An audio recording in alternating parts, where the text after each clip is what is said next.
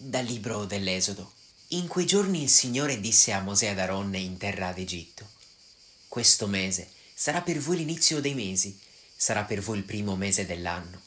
Parlate a tutta la comunità di Israele e dite, il dieci di questo mese ciascuno si procuri un agnello per famiglia, un agnello per casa. Se la famiglia fosse troppo piccola per un agnello, si unirà al vicino, il più prossimo alla sua casa, secondo il numero delle persone Calcolerete come dovrà essere l'agnello, secondo quanto ciascuno può mangiarne. Il vostro agnello sia senza difetto, maschio, nato nell'anno. Potrete sceglierlo tra le pecore o tra le capre, e lo conserverete fino al 14 di questo mese. Allora tutta l'assemblea della comunità di Israele lo immolerà al tramonto. Preso un po' del suo sangue, lo porranno sui due stipiti e sull'architrave delle case, nelle quali lo mangeranno in quella notte ne mangeranno la carne arrostita al fuoco, la mangeranno con azimi e con erbe amare.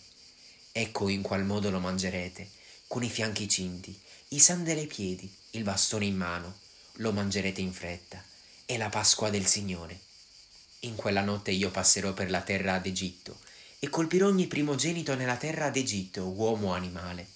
Così farò giustizia di tutti gli dei dell'Egitto. Io sono il Signore il sangue sulle case dove vi troverete servirà da segno in vostro favore. Io vedrò il sangue e passerò oltre.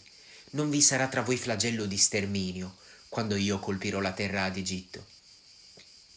Questo giorno sarà per voi un memoriale.